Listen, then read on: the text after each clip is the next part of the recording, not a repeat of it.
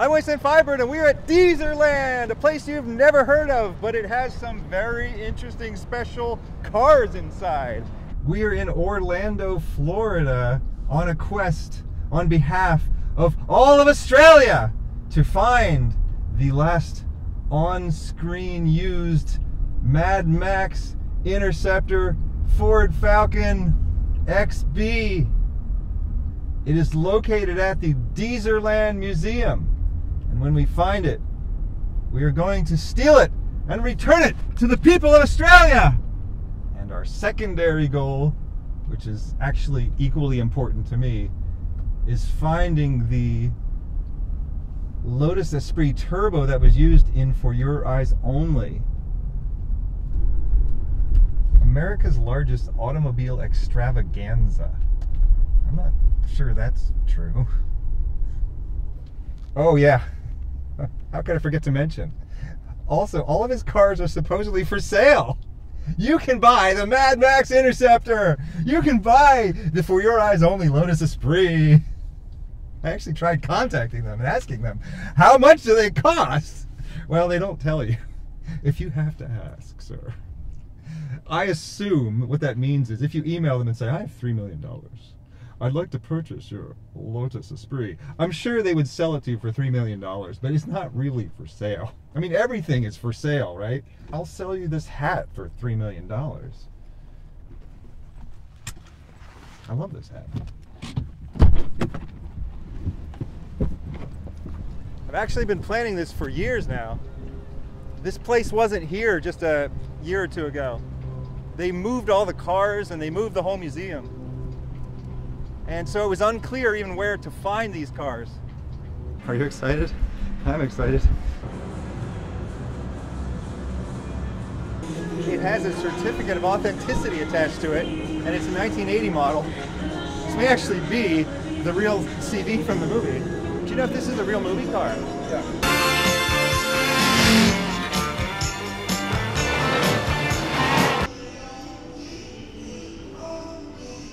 Found the Bond entrance over here.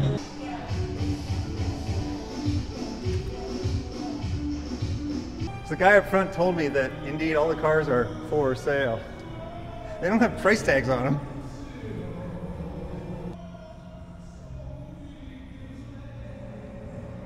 They had to cut the roof off of the Toyota 2000 GT in order to fit Sean Connery inside. So apparently there are three convertibles that exist of the Toyota 2000 GT.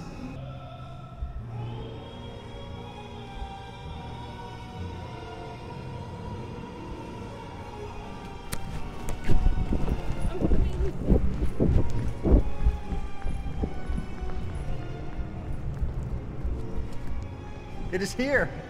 It is here. We have visual proof. It is here. This is a real movie car here.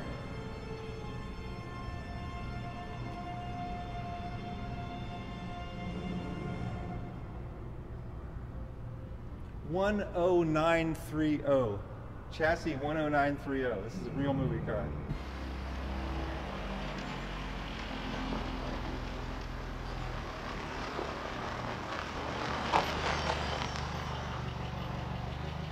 God, this color though.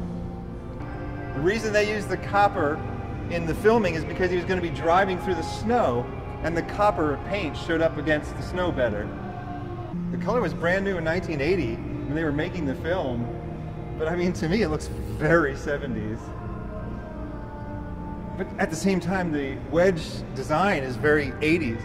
But if you go back to the Lamborghinis and the Ferraris and things, the wedge design was part of the 70s too, like major turning point in car design but it actually happened a lot earlier than your brain thinks it did.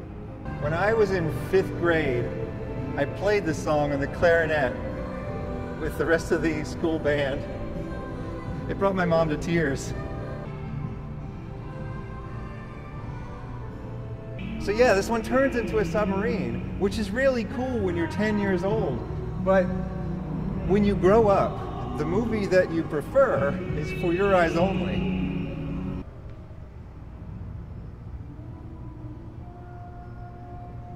Okay, now we have to talk about James Bond's songs. For Your Eyes Only is pretty good, but it is not as good as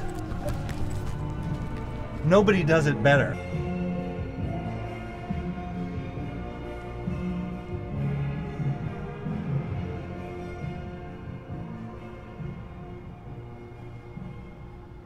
If you've enjoyed listening to me yap about James Bond, please check out the Peterson Museum video because they had a special Bond display going on at the time. I guess this is the car from the League of Extraordinary Gentlemen.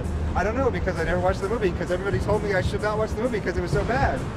Sean Connery did say that he wished he'd never been in this movie. Sean Connery was in that movie? Yeah. Wow, maybe I should see it. John Cusack regretted being in Better Off Dead. I just learned that the other day. It's his best film.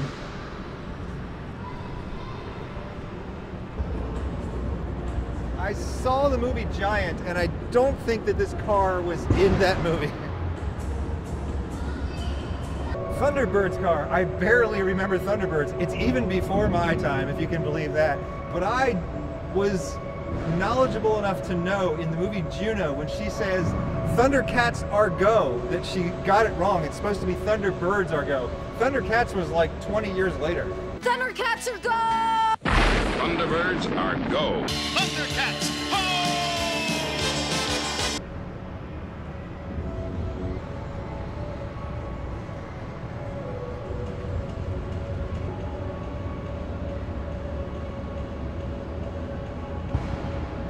Yes, we have to talk about this thing. I mean, we have to at least show it on camera. Let's let's look at the longest car in the world. It has a golf course on it. It has a swimming pool in it.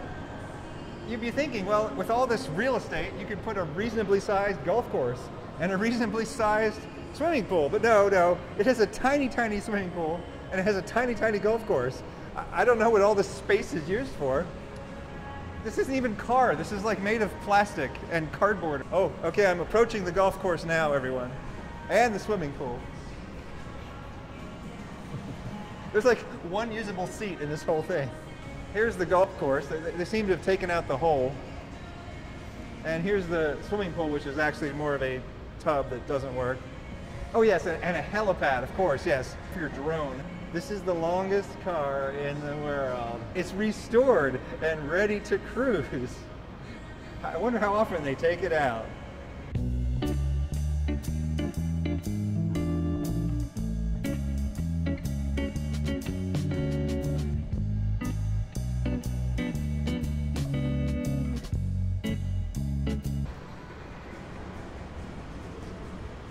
I didn't know that Israel made any cars.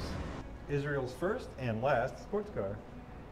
It's missing a badge, so he's printed out a photo of a badge on sticker paper and stuck it onto the side of the vehicle.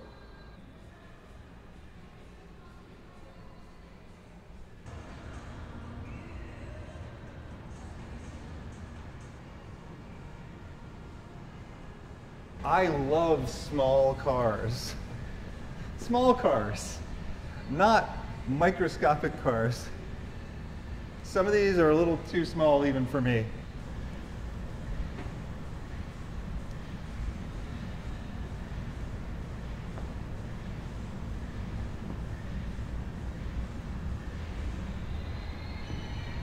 Wow, look at that pinstriping and hand painted lettering. Used to advertise the business at least at one point. Hope this guy or this woman is still in existence doing this work. It's beautiful.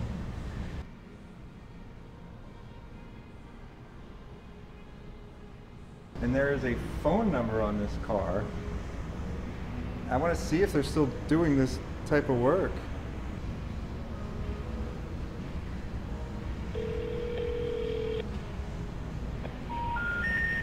We're sorry. You have reached a number that has been disconnected or is no longer in service. If you feel you have reached this recording in error, please check the number. Whoever you were, thank you for keeping the tradition alive while you were alive. I'm glad that we have this little relic of your existence.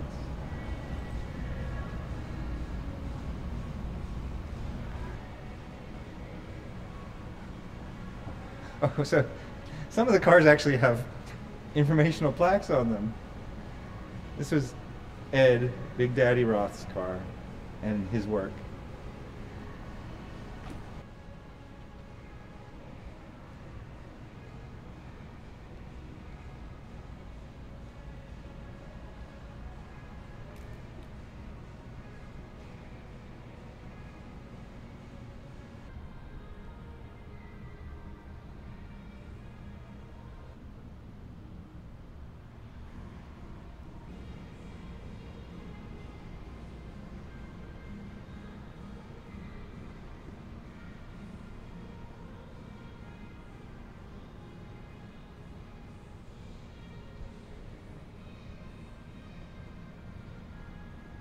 Baja Bug, you can do anything you want to a Volkswagen Beetle and it'll still look awesome. They have a Facebook group called Ruined VWs. But they're not ruined, they're all awesome. Everything you do to Volkswagen is awesome. Including the Purvis Eureka, which I just figured out was in the movie Death Race 2000 as the Sterling. Never clicked in my head that this was a car that you could actually buy. And there was another one of these in the movie Condorman. If you've never heard of it, it's not too surprising. I hadn't heard of it. Thank you, commenters. Let me just tell you that Condorman always wins in a game of chicken.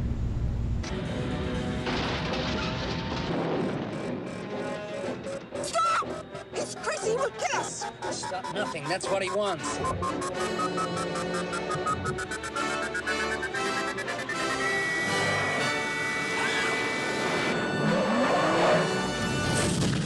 Volkswagen. Volks means people, Wagen means car. It's the people's car. And here we have the Schwimmwagen. Schwimm means swim, and Wagen means car, so it's the swimming car. The Schwimmwagen is from Puerto Rico. I guess well now we know how they got it here. And we have the, the Kubelwagen. Kubel, I don't know what that means. And there is a group of people that moved to Texas, and to this day, there's still a few of them, the old timers, that speak German in Texas. They have their own variant of Texas German. When they got to Texas, they discovered a new animal that they didn't have back in Germany. So they gave it a German name rather than simply asking the other people there what they called it. The animal was a skunk and they called it a stinkkat. We should talk about the dictator in the room, Hitler. He was friends with Ferdinand Porsche and he wanted to create this people's car, which that sounds like a nice idea. Everyone could have a car, but then they quickly went to war and they had to put aside the plans for the people's car, so they built the Kubelwagen and the Schwimmwagen and all that stuff. After the war, the Volkswagen Beetle was almost forgotten, but it was a British soldier that said, wait a minute, these are cool. We should try and keep building these things. We need to sort of salvage this idea of the people's car. And history was made. For a long time, it was the most produced car on earth. I think they got beat by the Corolla.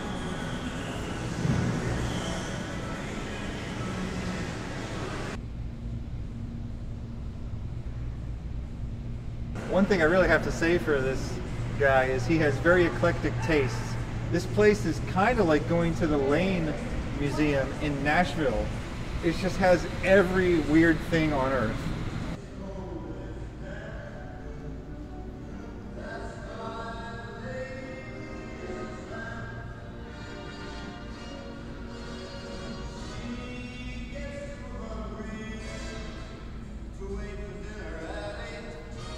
This place is gorgeous. You can't walk into this room without instantly becoming a fan of Chrysler. Like he's shown a lot more love for the cars in this room than he did for like the mini cars. They're, they're just stacked up to the ceiling in a darkened enclosure.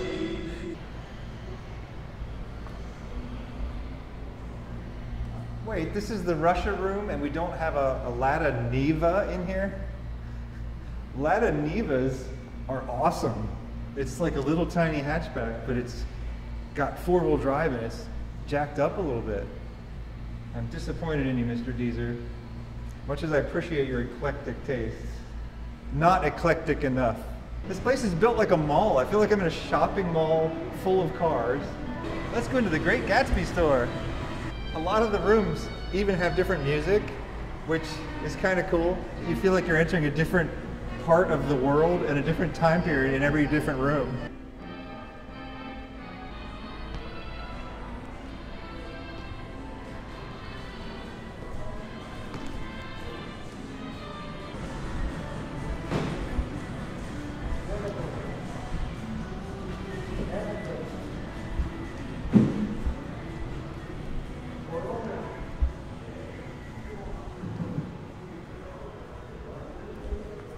Those are gorgeous. I think we found it. I think we found it.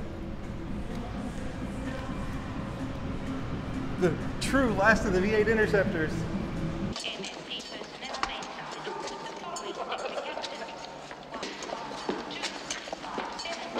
Stick it in the guts, Barry.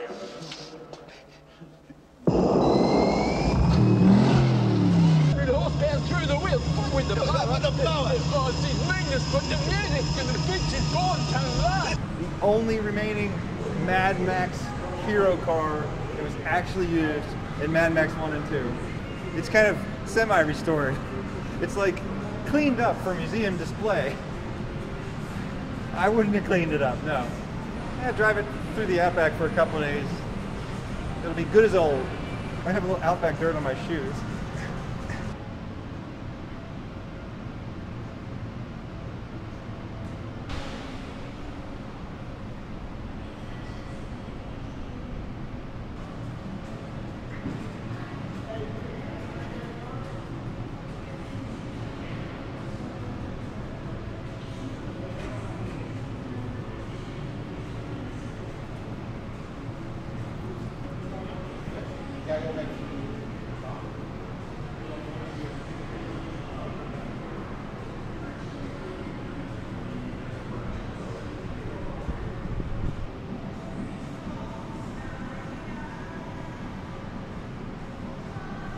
If anyone has $2 million, this car can be yours.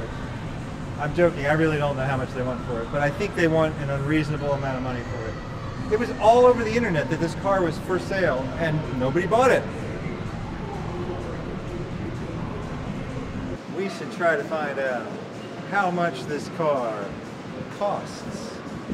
I hear it's for sale. The question I have for you is how much are these cars, specifically the Mad Max Interceptor? Uh, Mad Max is currently sitting at 2.5 million. Come on, guys, let's start up a collection. We got this. When I was a kid, it was just a cartoon, but nowadays there are some replica cars they've made, I think mostly out of old Corvettes. I love this thing. My earliest memories were like watching Speed Racer on television. He kills a guy in the intro. Your life's eraser, see it through. Boom! Speed Racer does not mess around. Miami Vice. This television show sounds very interesting.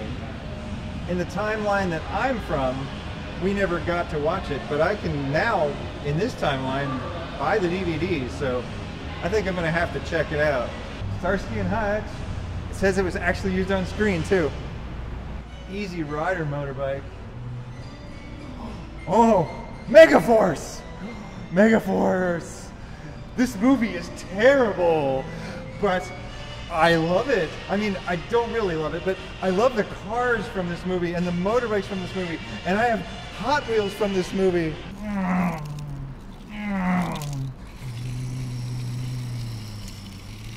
For the longest time, I actually thought that these were the cars from Damnation Alley because I had seen the movie Damnation Alley. I'd actually not even seen Megaforce until I grew up. And so I love the movie Damnation Alley. And back in those days, you couldn't like rewatch a movie that you liked. You would just sort of have to remember it vaguely. And so I thought that this was the truck from Damnation Alley.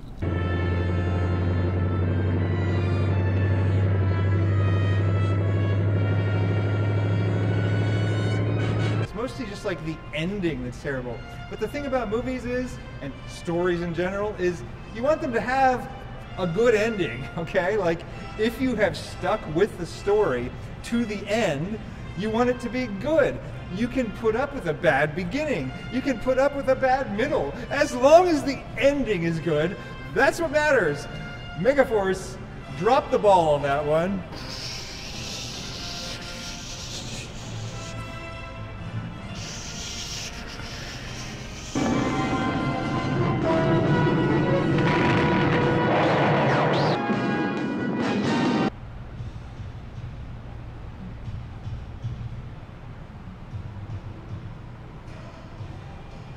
Hal Needham was such a cool guy. He wrote a book, Stuntman. It's all about being a stuntman in the 60s and 70s and the, and the 50s even. going from horses to cars, and back before they did it all in CGI. He was pretty much the greatest stunt person of all time.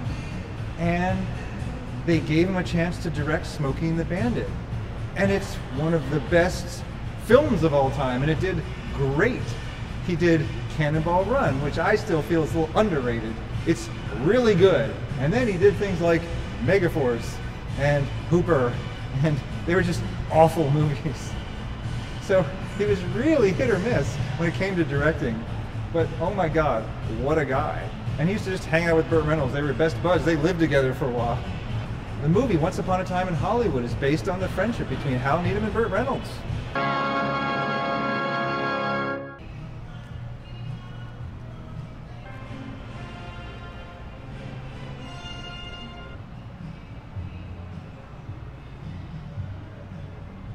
Movie is super cool.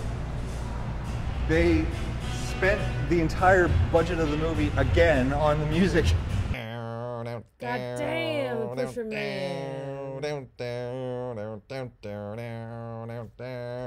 God damn, the Pusher Man. But it's worth it. Especially because the plot is not that great. The music holds it together, and it's definitely a surreal, weird film. And you can never tell nowadays, was that surreal feel intentional back in those times? Or was that just the way all movies felt and looked back then?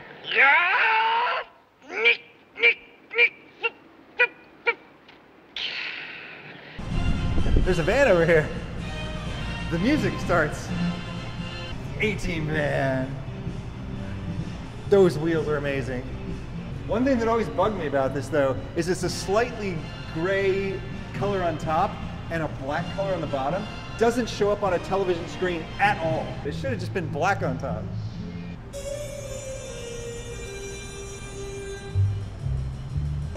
The Monkeemobile. This is even before my time. I don't think I've ever watched the Monkees.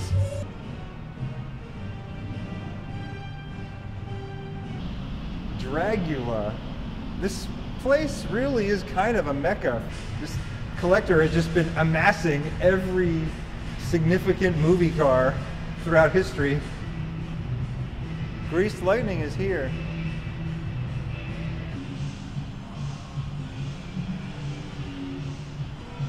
We want to be sure to get some footage of Greased Lightning because some people actually can stand that movie.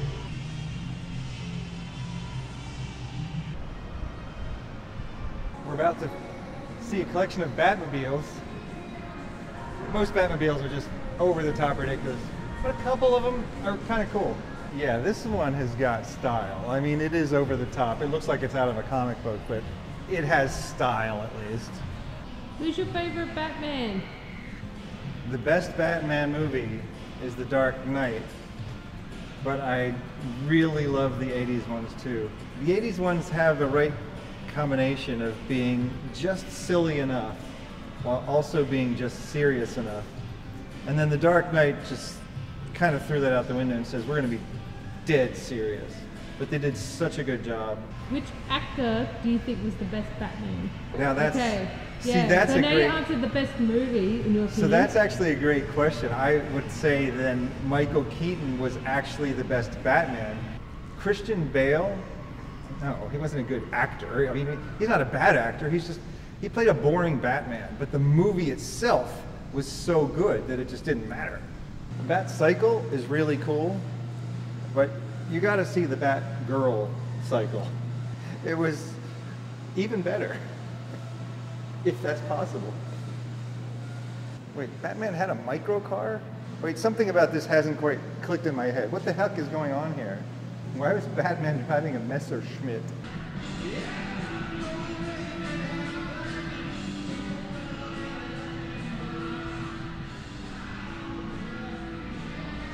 Cars actually used to be made of wood. And I'm not just talking about this kind of car, I'm saying before this kind of car, they were mostly made of wood. And that's because cars came from carriages that were towed by horses. And they looked a lot like carriages. They just weren't being towed by horses anymore.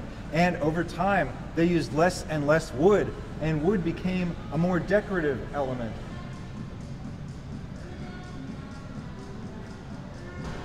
There's a Pontiac Aztek over here. Screw these classic vets. Oh, that's right. Pontiac Azteks aren't obscure anymore. Everybody knows what they are now because they were in Breaking Bad. But there was a time when you'd see one of these, you're like, what the heck is that thing? And you could open it up and they had tents that you could put in the back so that you're half in the hatch and half in a tent. They're super cool, super practical. Everybody hated them. These gorgeous pastel colors. It's one cool thing about Florida is they have so many buildings that come in these colors. And imagine these cars driving down these roads with these pastel buildings. Checker cab. I think a lot of people might not realize this, but these cars were clearly designed in the 50s, but they kept building them looking like this all the way up into the 90s. And so it's not just people from the 50s that think of this as a New York cab. It's people from the 50s, 60s, 70s, 80s, 90s. Like they kept driving these through almost the entire second half of the 20th century.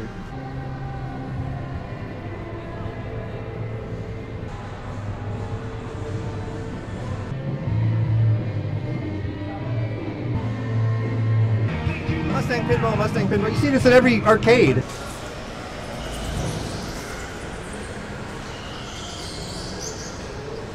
There's a skate park back here. We went out like the secret exit and stumbled upon the skate park.